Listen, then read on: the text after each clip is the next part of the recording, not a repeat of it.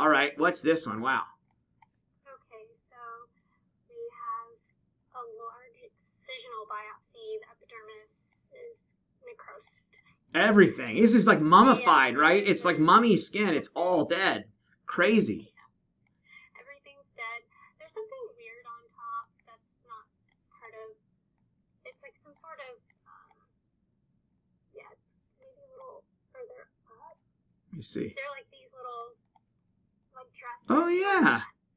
Oh, cool. Yeah, I wonder if that is. I wonder if it's like, um, I don't know, but I, I would imagine it's a globules of something that they've topically, like a topical agent they're putting on these big, huge ulcers, I bet.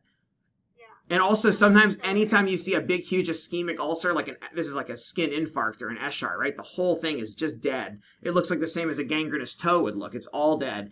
You can often see also thick layers of bacteria and fungus growing over big chronic ulcers, ischemic ones, and also ulcers like in pyoderma gangrenosum. I see that many times, and I think that that's totally a secondary overgrowth of like candida and skin flora and doesn't have anything to do with the etiology, but just FYI, that can look really weird when you see it, but if it's all just on the top, that's not what's causing the problem. And here's the key, right? Yeah, here's the key calcification um, deposits in the walls of these more, I guess, medium sized vessels. Or even small. Yeah, little vessels a lot of times, right? Yeah, small to medium, but the tiny ones in the fat lobules are also Yeah. filled with the calcium deposits. And this patient, of course, must have chronic renal failure, or almost certainly does, right? The vast majority of them do.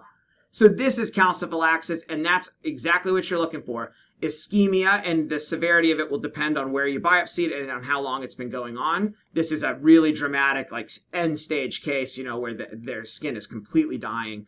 Obviously, painful black purple areas that become eschars and, and infarcted ulcers. And then on biopsy, you're going to see the calcs, and they can be either little. This is really well developed. It, we rarely get it this good, but little rings of calcium around small to medium sized vessels. You can see it in the thicker muscular vessels, but ideally, I want to see it in these small vessels. That's what, to me, if I see it in bigger vessels and that's the only thing I see, like I said, you can see that in Mönckebergs. But anytime I see any calcifications in the setting of a chronic renal failure and a suspicious clinical thing, I take that very seriously and worrisome for calciphylaxis until we can prove it's something else. So um, then the other thing is that sometimes it's hard to find, or you don't even find it in vessels, and all you can find are little tiny fragments of it in the subcutis. Um, in between fat cells, along little septa. Here's a little vessel right here with a ring of cr- crumbled calcs around it. Yeah, so that's calciphylaxis, really serious, obviously.